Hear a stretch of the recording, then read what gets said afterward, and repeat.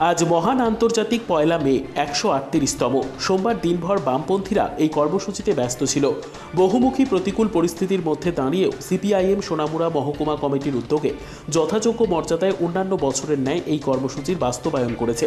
সোনামুড়া মহকুমা এলাকায় কয়েকটি স্থানে শতাধিক সোনামুড়া মহকুমা এলাকায় কয়েকটি স্থানে সকালে পতাকা উত্তোলন, শহীদদের প্রতি শ্রদ্ধা জ্ঞাপন ইত্যাদি আনুষ্ঠানিকভাবে করা হয়।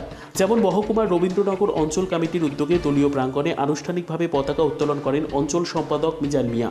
এছাড়াও মোহনভোগ সিপিআইএম অঞ্চল কমিটির উদ্যোগে নেতাকর্মীদের উপস্থিতিতে করা হয় অন্যান্য বৎসরের ন্যায় এই কর্মসূচি। অপরদিকে মহকুমার কুলুবাড়ি অঞ্চল কমিটির উদ্যোগে এই কর্মসূচি করা হয়। দলীয় পতাকা উত্তোলন ও শহীদের সহকর্ম করেন সিপিআইএম রাজ্য কমিটির সদস্য তথা বিধায়ক শামসুল হক। অপরদিকে সোনামুড়া মহকুমা ভিত্তিক মহকুমা কার্যালয় প্রাঙ্গণে বিভিন্ন গণসংগঠন ও পার্টির তরফ থেকে পৃথক পৃথকভাবে দলীয় পতাকা উত্তোলন করা হয়। পতাকা উত্তোলন করেন সিপিআইএম এর মহকুমা সম্পাদক রতন সাহা। অন্যান্যদের মধ্যে উপস্থিত ছিলেন বিধায়ক শ্যামল চক্রবর্তী, সিআইটিউর রাজ্য সম্পাদক ওহিদুর রহমান সহ মহকুমা স্তরের অন্যান্য গণসংগঠন সমূহের নেতাকর্মীরা। বিকেলবেলায় সংহতি দিবস হিসেবে শহরে পরিক্রমা করেন একই মিছিল। মিছিলে স্লোগান তোলা হয়, রাজ্যে গণতন্ত্র পুনরুদ্ধার করতে হবে ইত্যাদি।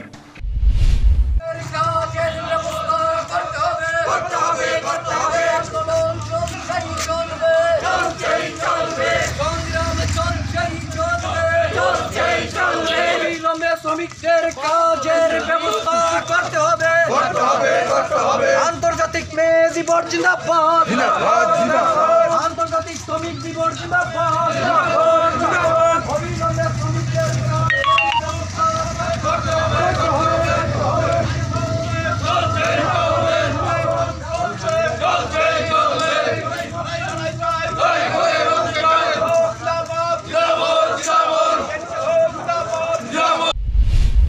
নিজস্ব প্রতিনিধির রিপোর্ট দুরন্ত টিভি।